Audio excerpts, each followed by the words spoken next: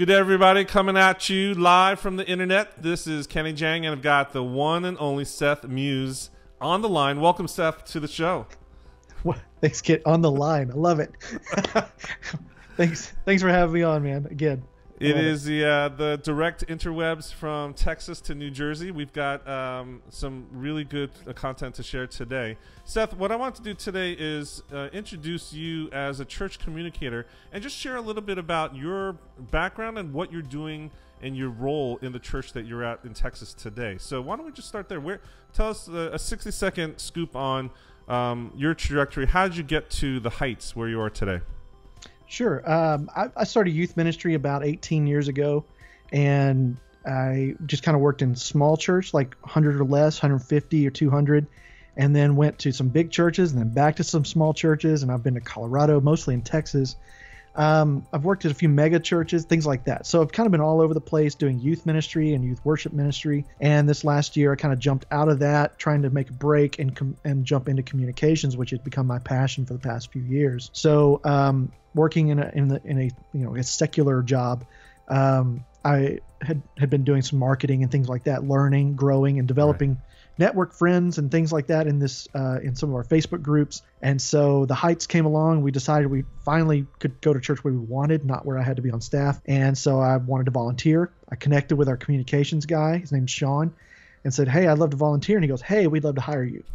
and I said, "Oh, okay, um, that's crazy. You didn't think about that." So we talked a few months, and then I ended up uh, leaving my secular job that I'd only been at for nine to ten months, and jumped back into the church world. And so now I'm the social media and web developer associate at uh, the Heights in Richardson, Texas. Wow. So two things. Um, c- can you give us just one piece of contrast uh, between your job as a youth pastor and communications because I always thought that you know getting through to the youth, getting through to the generation below you all the time, you need to be savvy in understanding and communication is key, right? If you want to be successful. So absolutely. There, what's one contrast or what's one similarity that you're drawing from those two roles? Well, I would say that one of the contrasts is that I get to I get to be home at night. Mm. And whereas youth pastors, we're we work pretty much from noon till midnight and and even later, you know. And so now I get to I work at 8:30 and I work till 6 or so, 5 or 6 and yeah. then I'm done. And and so that's that's a nice change. As I get older, I kind of have a little less patience for being out and about. You know, I'm just you know, I just want to be home and so I can do social media if I need to for the church from home. So I have a I'm a lot more flexible, a lot more mobile.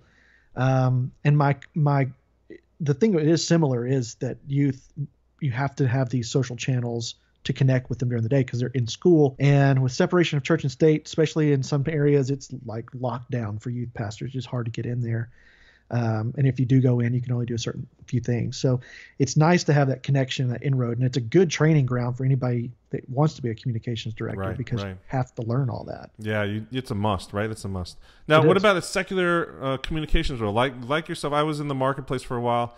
Um, what is something that you think is um, a key transferable skill mm-hmm. set or activity that you're finding? Man, I I think there is an incredible amount of information that you can train yourself. And one of the things in the marketing world is it's actually moving faster than the church communications world. And so keeping up is a daily endeavor. Yeah. And I think there's ways that you can find uh, sites and people that you follow and, and using social media to actually teach yourself how to do new things and creative things that help you do your job better. And I think that in the church world, we're a little slower with that. And I think we're faster now than ever before, but we still tend to be a little behind on some of these trends because some of us kind of get in a role and we, we just kind of stick to it, you know, and, and, and that's easy to do in marketing as well. I mean, you could easily get in that situation as well, but for me being in a place where I really didn't know what I was doing, I had to, I had to figure it out, man. And that's a daily, like, okay, here's the challenge for today how am I going to beat it? And you know, sometimes in the church world, we kind of get in a, a, a, we get in that mode too, where we go, okay, I got to reach my people. How am I going to do that? So there's some similarities, some differences, but mostly in the marketing world, there's just different bottom lines. You know, there's a bottom line in the marketing world for product, and then the bottom line for people in church. I think that's. How do you like the difference? One difference I found that is a big contrast is the seven day production cycle, right? The mm-hmm. church you're on a machine, a treadmill that yeah. goes. Your target is the next seven days. You got to deliver, and then it starts over and over again, right? Or it might be um, every couple of weeks because there might be a sermon series cycle, some promotional cycle. Um, how, how do you like that, or you know, what what do you feel about that versus the marketplace jobs? I I like that because it it it limits it appropriately, but also keeps it moving so that you're always doing something. And in the marketing world, you can work on something for a while and then launch it, and it might fail. You know, in the church world, you have a week. You launch right. it, it fails, fine. You do it again, different next week. You know, it's like quick, quick, quick. You can you can turn it over, and so that's kind of nice. But in the church world, I feel like there's a uh, there's that you get in a rhythm a little easier, and you can develop some habits, and they can be bad, but they could be good habits too. And I like that cycle. I, I missed it when I was out it felt like I would sit sometimes and not know what I was supposed to do. Yeah. You know, yeah. whereas in the church world, there's never a question. it's just sit down and you're all about your people and you, and if you've been a pastor for a while, like I have, it's like that comes naturally now to think about how can I reach people. I'm just doing it different through social yep. or web. So that helps a lot. For sure. For sure.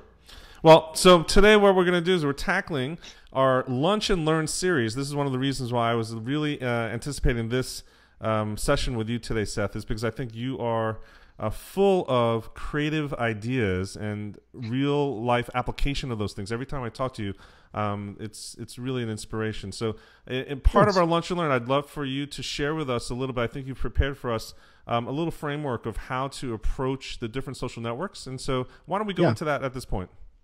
Sure. Um, as a as a pastor and a leader, you know, you have your heroes, and Andy Stanley is one of mine. So one of his kind of truths or principles or whatever that I was attached to was he he has one sentence job descriptions for all of his people. Yeah. That was incredibly helpful. I did that for my youth leaders, my, my volunteers. I created a one sentence job description for them. That was always really helpful for me in my ministry. So I came to this social media ministry that I now head up and, and kind of approached it the same way. And I developed a one word vision statement, I guess, for each platform of what I basically want to accomplish. And so that has given me a lot of focus in what I'm trying to do. And there's still a lot of cross posting and things like that because as a church, you know, you, you can get away with that a little bit. But um, for the most part, it helps me to focus on what I'm trying to accomplish with each each one of those platforms. Yeah. Well, before we even go into that, you picked up on something that I think a lot of um, I find people who are new to the role of communications or new to adopting social media, their knee jerk reaction is to think that everything is the same. You obviously don't think that is the case. Right. Can you speak to a little bit about that, the dynamics of um, different voices or personas for each of the, the, the channels and why you're doing this? Yeah, and I think it's a nuanced thing. It's where you can put out some of the same content, but the way you put it out is different. And how you it's more about how you kind of act in the moment of the social media. It's the social part of it that changes. I think the media part might be the same.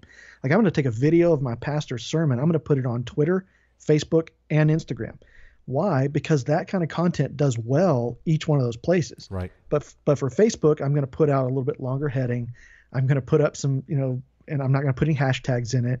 For Twitter, I'm going to hashtag the heck out of that thing, you know, so people will see it and find our church and there's a reason for that. Uh, on Instagram, I'm going to use some hashtags too, but I'm really going to focus more on telling a story about what was going on in this um, in this clip. So it's just a little bit different how each one of them gets put out, and I don't always do that. But when I do have content that works really well on all those platforms, then I try to find ways to make it specific to that platform because of my right. one-word vision. So you're not a proponent of those plugins that automatically copy and paste across all of the networks and duplicates the content. Not really. I do use I do use Buffer, but what I'll do is I'll create one and I'll select all the ones I want it to go to, put it in the queue, and then I'll go through and kind of edit and make them look appropriate if I'm going to cross post. Love so love that. So it's a little extra work, but I think it it makes it neater and more you know customized for that platform. Works a little better. There's those that say you upload to Facebook, and I've done some tests on my own. I don't see a lot of difference. I know there is some, and uh, but I just kind of like, you know what, I ain't got time for that. I'm just gonna throw it in buffer, and you know, I'm managing other things too. I'm building a website for our church right now. I don't have time to post everything native. I just don't have time for it. So. Right, right. And speaking of automation, is Buffer the only tool that you are using for publishing at this point? I use Later as well. Um, I, I do use Hootsuite. I used to use Hootsuite, and I like Hootsuite. I just like how Buffer works better. Um, it has the content inbox and it has the Pablo with the graphic design, and and I really use Canva or Spark for graphics, so I really don't Gotcha. even use Pablo. But yeah, it's just it's easier to see it. It's easier to to work and, and see where everything's are, everything's going. I just it works better for my brain. I Right. like it better. So you're not automating the actual posting to Instagram at this point. No, that's that's the hard. I mean, no nobody does that. I mean, Grum can do it, and I don't even know if that's legal. I think they're they've got a workaround, but that that's the only one I've found that does it. Yeah, Gr- I mean, I saw. I, I use Grum, and we use Grum for our clients. Uh, we um, had clarification from the founder of Grum, Okay. and one of and he did a big. Uh, I think it was an AMA that he did with, on Reddit, and the, his response was that they are not utilizing the API, so they're not violating the TOS. Ah, okay. and they're using some other So- technology. He said that it's akin to if I hired you or somebody else to literally sit in front of a computer and upload and do whatever you're automating. Um, if that is not a violation, outsourcing to another human being, then that literally is what they're doing. And so I don't Okay. know their technology behind it, um, whether it's I, honestly I don't know how they're doing it, um, Yeah. but that is it was a clarification that they're not using the API, they're not using some back end. Well, that's how they're getting around it. Then I mean, that's great. That's great. They found a way to do it. They're Yeah. the only ones have found out a way to do that. But I like later. Later just reminds me. It sends me. I, it's, I can't do video because I just I do the free one. Right. So if I have an upload of a video to Instagram, I just do that native. But Instagram is one of those things where you kind of want to be in the moment anyway. So Yes. I'd rather do that really from my phone. And if I've only got to really do manually Instagram, I mean that's not hard. I mean I, I can do that, especially for what we've got going on. I just have to be at everything. That's the problem. So I got to find some people to be at stuff for me that can take over our Instagram sometimes. Nice. That'd be nice. nice. Okay, so let's get to your one word vision statements for each of these platforms. Okay, uh, our number one platform, hands down, like most people, is Facebook. Uh, Facebook is a great platform. The only issue with Facebook is that it can't you can't just like watch your wall. Uh, you have to wait for people to uh, like or post on your wall or, or comment on your stuff. So the number one word is engage. Hmm. My word for en- is engagement. I'm going to comment. I'm going to like. I'm going to respond. When I first came in, our our response tag, the little check mark by it, it- we weren't verified because our response time was like 10 days, and so uh, I was like, okay, that's changing. And now we're three minutes. I have a three minute response time. So because it comes to my phone, I can watch that, and I'm checking that ev all day long, pretty much. But that's one of those things that people people start to notice that you're talking to them, that you're when we say, "Hey, how can we pray for you?" and they type out a prayer request, well, I'm going to type out a prayer, and you know that's that's something they see that and they go, "Okay, this is a this isn't just a big machine, an organization. This is a person Yeah. who cares about me back There's there." a that- person behind the account. Exactly. And so it makes it social, it makes it personable. So our big focus for Facebook is engagement. I want to put out posts that are kind of it's kind of like fishing. You throw the right lure out there, you know, that, that are engaging posts, and then kind of wiggle it around, wait for them to, and then you and then you can reel them in and you can talk to them. Exactly. Eh, So that's kind of how I, I look at Facebook. Um, we post about two, maybe three times a day. And are Um, you the only one that's responding to comments for your page? Pretty much, yeah. And we have about 2,000 people in our church. And I know that just saying that can seem like, wow, you must be super busy. Really not. I mean, the way Facebook does their their fan pages, it's it's pretty manageable. So I'd like to see it go up. I'd like to get to the point where I can't handle it. But right now, I'm part time at the church, and I can do it just fine. And so, So- our, let's go really granular there.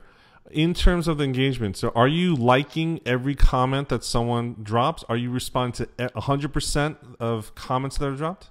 as much as I can, I don't just respond with like, "Hey, that's cool, thanks." You know, it, I try to say something of substance. I'm also liking and commenting on um, reviews. When when people review our church, say thanks. We love that you're here. Yes. Um, you know, thanks for coming and visiting us because it it notifies me when that happens, and does I mean people not everybody's going to review your church. You know, when they take the time to do that and it's positive, I mean that hardly ever happens. Most people want to review stuff when they hate it, you know. And and we've had a guy that that just wouldn't stop bashing the church and I did the standard I'm sorry you felt that way. We would love to I'd love to talk to you. Can you PM me for uh, and let's try to get this worked out. And he never would PM me. So I ended up having to I reached out several times and finally just said, you know what, I'm just going to have to ban the guy because he wouldn't stop. Right. So I banned him, you know, but it's social and I left it out there. It's still out there, you know, so people can see how we handle that. And because I want to see us, in, I want them to see us engaging and not just putting out info and putting out announcements and crunching out stuff that we're doing. Yeah, I, This- I this- love it. I love it. And when you're, I just want you to rewind and zero in and explain to everybody what you what you just described is a best case scenario or best practice actually in how to handle objections and hecklers, etc. So you don't actually engage in a, um, a back and forth debate war on Facebook if someone is a No. detractor. No, no, no. I, I'll I'll reach out the first time and say, I'm sorry you felt that way or that happened. Let's talk privately, and I'd love to help you figure this out. And if they come back and, and comment again publicly, I'll reach out one more time and say, uh, again, I'm really sorry that happened, but I would really like to move this conversation to a place where we can actually help you instead of just going back and forth on Right. page So the objective is to get the conversation offline directly in person. with people in person, pixels to people. You know, the, any way Love I can that. move them to from from online to in person. I had uh, something somebody called the church on the other day, and you know, I'm I, I'm in the process of trying to reach out to this person. I'm like, hey, I'd like to have coffee with you. You know, there's there's uh, something about getting in front of people or, and realizing, hey, we're humans. It's not you talking to a machine Yeah. feeling like you can just kind of do whatever, you know, and say whatever you want. And I'm not going to feel that way towards you. So it's restoring a little humanity to the social media world. I think we need that really bad right now. So in a church situation, when you have that negative impact, it's you have to respond and you have to do it well, but you also have to go, here's where I'm cutting this off. I love, Maybe- um, the, I lo- yeah, your number one objective with hecklers is to move them from pixels to people. Just love Mhm. that. Yeah. Yeah, engagement. So I love that Facebook, you're really trying to maximize what Facebook is really set up to do. Um, Right. Right. And so uh, engagement is that number one goal. Great. What's the next platform that you've got your head wrapped around? our our second biggest is Instagram. Um, when I came on staff in November, at the end of November, right after Thanksgiving, um, then our the last time we'd posted to our Instagram account was April. That was a good six or so months there that hasn't posted anything, and so for that one, I started thinking, how is Instagram used? Instagram is about photography. Instagram is about even now with stories like behind the scenes and what's going on live and in the moment. So our word for Instagram is reveal. Um, when I think about Instagram, I'm thinking about revealing what is happening in the moment. I'm revealing uh, God's beauty in the world by telling stories and I by you know sharing some of our. We have a web a website called GospelRisk.org. People can type out stories that they've actually shared the gospel, and so I'll share some of those stories on there. Um, here's a volunteer that's doing great this morning. Last week, I, I took a, I was trying to get our connections director, uh, Kim, to shoot a quick video about our first steps class or whatever. And she said, "Hang on, I got to text this girl. She showed up at the church last week, and I invited her. I'm going to make sure she's going to come." I'm like, "That's great." So while she's texting, I snapped a photo of her, Perfect. and then and then went back later and put that photo up and said, "Hey, here's Kim. Here's what she did. How are you living on mission?" You know, and like told that story. It's revealing the vision. It's revealing the stories. It's revealing what our church is about and what it's like to be here, what it's like to be one of us. And so reveal is the one word description. And it also goes into like behind the scenes. I'm revealing how we work. I'm revealing here's something ridiculous that happened backstage, you know, in our stories feed. So I tend to kind of use like one or two posts a day for Instagram in the main feed. And then if something's going on, I'll use stories to post like a bunch of stuff real fast. But if there's nothing going on, I don't I don't post to stories. I mean, I don't just post because I need to post. Right. I So post you're not one of those accounts that always has some story live going up there. No, no, I don't. I don't see that, and and our people don't engage with it. I mean, they'll watch it, but um, I really only want to put the good stuff up, and and I I think we have a lot of good stuff. And when I take one photo and go, oh man, I need to take this other photo, I might do that, and then I was like, oh man, look at this. I'm, now I'm going to stories. Boom, boom, boom, boom, story, story, story. So it's my overflow, and it's showing behind the scenes. It's where I can let people go, okay, here's the main things going on, but here's the rest of it over here if you want to go check it out. And it's a little more fun because you can draw on it and stuff like that. So it's a little bit more youth oriented or younger generation, and they love it. But we just, I don't, I don't want to overflow their their feed. You know, I want to reveal, but I don't want to kill them with it. Yeah, uh, so- to me that's um, so super that you are what you're trying to do is you're trying to maintain that trust in the conversation, right? Yeah, and, and and part of that is revealing specific things. I don't need to reveal what I'm eating right now. you know, I, I need to reveal what our church is doing. If we're having a meeting and there's food, I'll Instagram that. Here's what we're doing. Here we're eating food. It's from this great Mexican food restaurant, but what we're talking about is our R3 groups, and we can't wait to share with you what we're talking about. So it, it's it's always about something that's kind of on mission at the same time. It's not just pointless, random stuff. Now, do you, Yeah. personally do you have a Finsta account yourself? Do I have a what? Finsta. Have you heard of the the, the trend of No. everyone having a Finsta, a fake Instagram account?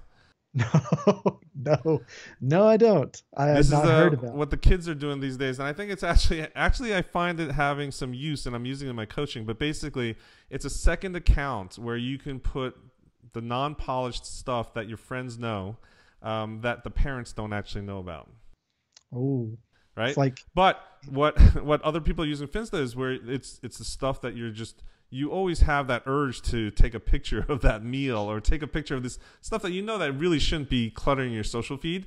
So Yeah. in order to satiate that impulse, I'm coaching people set up a Finsta, put all that junk on another feed where it's just that's what it's dedicated for and call it out for that. Um, Yeah, satisfy that crave, get it out there. Bad. but keep your main feed uncluttered. Yeah, I think that's important. And and what we also don't do for Instagram is we don't go for a design brand necessarily. I, I know there's a lot of church accounts that do like you look through their feed and it's the same Yeah. thing. I think that's incredibly boring. I, I mean, I hate to say it because a lot of it's time a lot of times it's like scripture graphics or it's this, you know, tips or whatever, and that's that's cool, but I don't follow your church to see that necessarily. I, I usually follow on Instagram because I want to see people. I want to see what's going Yeah. on. Yeah. And and some of that in there is good, but my brand for Instagram is that we reveal what's going on here. If that's a scripture graphic or if that's a person, you know, that's what we're going to do. It's a little bit more of an abstract branding than a than a you know hard and fast. We're Chick Fil A or we're Starbucks or you know something like that. We're, that's not what church I is. I think when when you think about a church that you like to follow, it's not because man their graphics are awesome. you know, that's like the way church used to be. It's not like that anymore. You know, people Yeah, I think la- I really think as people become more sophisticated in producing content, they realize that Yeah. look, this is again, it's the social part, it's the interesting part, right? If I just Yeah. if we met for coffee every single week and I said the same exact thing, or I said it in the same exact way, or I ended every sentence with some tagline, you'd get bored, right? Yep. Um, Or or if everybody that I knew was your friend and my friend came and said the same thing you said every single time yes. and shared the same graphic every single oh my gosh. Yes. Like I'm all for like the I had to follow unfollow a lot of friends uh, when I was when I was worked in a couple different churches because they would all share the same graphic and my feed was just there it is there Yep, it is there it is thing. there it is like come on I don't follow you for that you know that's I don't want that No, so I, love the stories aspect I think that helps with that a little Yeah. bit I mean, one of the things that we advocate is that hey, think of social content as a seven-layer dip. You do need to have some foundational, you know, scripture graphics or things like that. But Yep. there's all this other stuff, including all this reveal content, like you're talking about, that Yeah. really brings it to life, right? And you want Mhm. to serve that relationship that you're trying to share. So, um, love that perspective for Instagram. Uh, Yeah. What's the next next platform that you have on deck? Well, the third one, I'm not quite sure where we're going with it yet. It is Twitter. Um, as a church, some churches really get a lot out of Twitter and some don't. It, it depends on your group of people. And my group of people tend to be um, a, a little bit older. Uh, they're upwardly mobile. So I know that there's a lot of professionals and they're on it. but I don't know that I don't really know what to do with it yet. So right now, what I'm using it for, our word is networking. Nice. So our our word for Twitter, because that's what it's naturally good for, is finding new people. Yes. Maybe maybe connecting them to our church through the content I'm sharing there through hashtags or whatever. Um, connecting with other churches, other church pastors. Um, you know, it's it's kind of a customer service thing. People can always contact because they can do that through Facebook too. But um, that tends to be more of our family is on Facebook, and Twitter is like the public. Anybody can join, and and so it's kind of like that first rung almost. So we're networking with people that might go, all right, they put out some interesting stuff. I'll give them a shot. I'll follow them. You know, like, but but Twitter is is weird. Like even the other night, I just tweeted out some nonsense stuff and yes, got like forty something. 40 something followers in 30 minutes, you know, that didn't have any clue who I was or anything. And it just, so you kind of have to take like how many of your followers are really followers and how many of are just marketing specialists, you know, that are out there because it seems like everybody is on Twitter. So for Twitter, what we we're I'm trying to figure out what to do. We're we're at a place where I'm I'm I'm just posting to Twitter what works from Facebook or Instagram, uh, or not from there, but the same stuff, and not really engaging a lot. I'm trying to. I think we're going to have to make some lists because for me, it's finding out like who are our people. I'm brand new to the church. Like who are our people? I need to put them in a list. So I've started a list of people who have retweeted us, and that's like my first list. Like Definitely. the re the retweet army is what I call it. So it's the retweet army and just trying to figure out who is like engaging with our stuff. They think it's good enough to share it. Maybe there can come something of that. I'm not sure what's next. So that strategy is still in development, but I know that networking is what Twitter is good at. It's it's good for, and that there's probably some ways to to use it in that way. I just haven't figured out what that is yet. So I mean, we're big, we're small churches. We don't all have it figured out. I mean, it's it's a work in progress. What about Snapchat? You've got a lot of youth uh, in the area. I leave that to the youth ministry. I am not. Um, I am not a big fan. I don't get it. You know, I just I, I see its value in some areas, but if Instagram continues to copy it, I kind of wonder. Well, I've already got this big audience on Instagram. Why would I try to start over with with Snapchat? Because now I'm going uphill, starting a, and building a community as well as having to put out more content and it's different. So you can't just put out what you put on other platforms on snapchat because it's very much more in the moment. And you know i'm like i'm busy. I don't have time to monitor that you know? And so it requires so much of me. Now i think youth ministries and college ministries can make a great use of snapchat. But i think if you're going to use those i think there needs to be again a a, a, a vision for it. What are we trying to do? What are we trying to accomplish and again, I don't know enough about that platform to really give an example what that might be, but I can guarantee you go talk to a youth pastor, they're going to go, yeah, here's what we do on it, and they're going to know it. Because uh, again, youth pastors have to be on the front end of that frontier to stay up with their kids.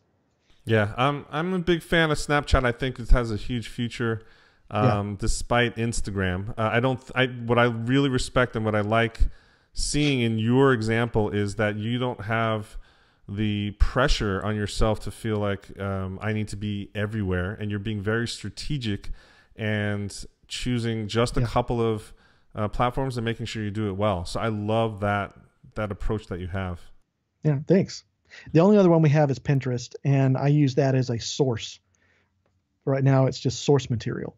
Uh, I I have other ladies in the church that can pin things, and I've made some boards and said, "Hey, go pin stuff." And if I go in there and I don't like it, I'll just delete it. You know, I'll probably not say anything to them.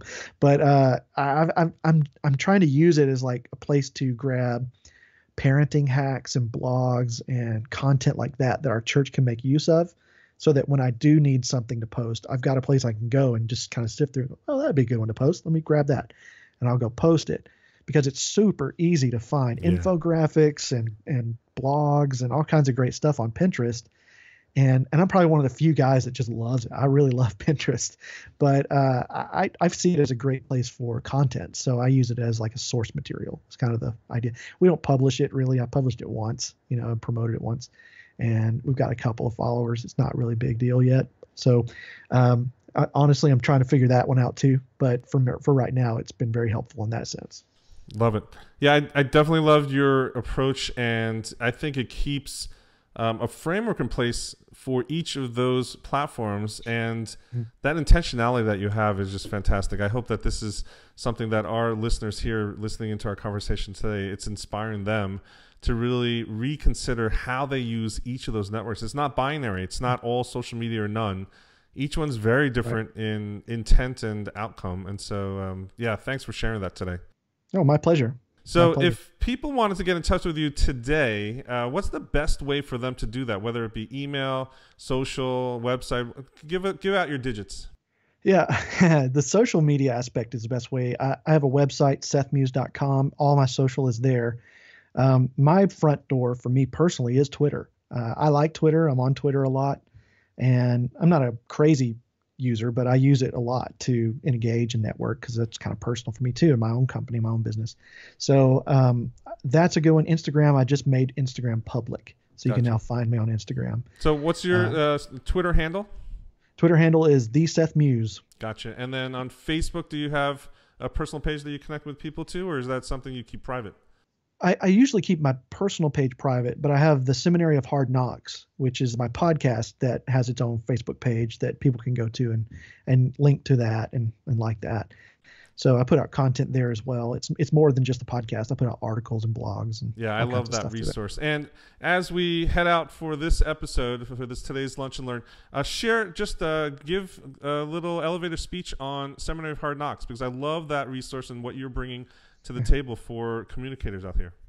Well, I appreciate that. Um, the the Seminary of Hard Knocks podcast exists to help pastors and leaders, ministry leaders, make better decisions with more confidence and clarity. And it is primarily focused on the practical side of ministry because of what you don't learn in seminary. Yeah. Uh, I know there's other resources like Unseminary. I think what you're doing is a great resource uh, at Church Butler that's coming out, and all the other stuff you've got going on. Um, but there there is a practical side of ministry you don't learn by learning to teach the Bible. For sure. Past, for sure. Pastors jump into their jobs and they know how to teach, they know how to preach, but they have to lead meetings, they have to do budgets, they have to do all kinds of practical leadership stuff that they weren't prepared for necessarily in in college and seminary. And so my podcast focuses on a lot of those things and tries to help these leaders to at least talk about some of these issues and get some ideas to um, to go forward because I had to learn those the hard way. I was thrown in and I got the bumps and scars to prove it. So that's what the Seminary of Hard Knocks is about. And it's one of my favorite things that I get to do is just to meet new people and, and, and talk about some of these things that, and finding out that I'm not alone and I yes, wasn't alone exactly. is really great. And it's starting to develop a little bit of a community about, about it. So I'm excited about that. Awesome. So uh, be sure to check it out, Seminary of Hard Knocks uh, podcast with Seth Muse. Thank you so much. This wraps up today's Lunch and Learn episode. Um, really appreciate your time and sharing your wisdom with us here today, Seth. Thanks for having me on, Kenny. And uh, if you really like this episode, we are curious. Please drop a comment and let us know what you thought about today's episode in particular, because we're kind of we're trying to mix it up a little bit with this format um, of this lunch and learn. And um, tell us if you have any other people that you'd love to hear from and learn from. Be sure to connect with Seth directly on Twitter as we continue on learning more and more about church communications.